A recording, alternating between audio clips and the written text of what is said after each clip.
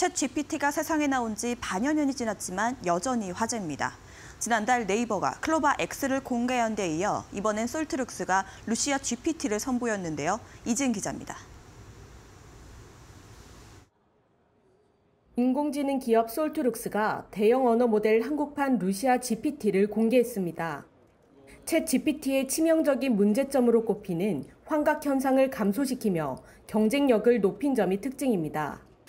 자체 연구 개발한 Instruct 지식 학습을 통해 오픈 AI의 GPT 3.5와 메타의 라마2 대비 한국어 환각 현상 자체 평가에서 약 40% 우수한 성능을 확인했다고 설명했습니다.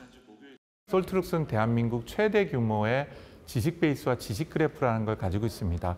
사실 기반한 사실 정보와 데이터를 가지고 있는데요. 이것을 거대 언어 모델의 신경망과 결합을 시키면서 할루시네이션도 줄이고 다시 해서 환각 현상도 줄일 뿐만 아니라 최신 정보를 더 빠르게 학습을 해서 챗 GPT 열풍에 관련주의 주가는 출렁이고 있습니다. 7월 초 2만 2천 원대였던 솔트룩스 주가는 두 달 사이 80% 넘게 올랐고 같은 기간 인공지능 전문기업 셀바스 AI는 39%, 오피스 소프트웨어 업체 폴라리스 오피스는 87% 이상 상승했습니다.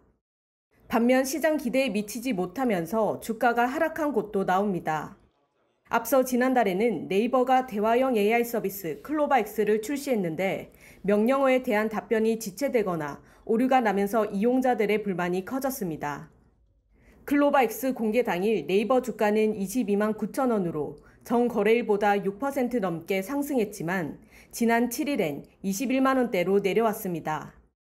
다만 증권가에서는 기업들에 잇따른 챗 GPT 공개로 인공지능에 대한 투자 심리가 커지고 미국 상원에서 관련 포럼이 개최되는 등 모멘텀은 지속될 것이라고 판단했습니다.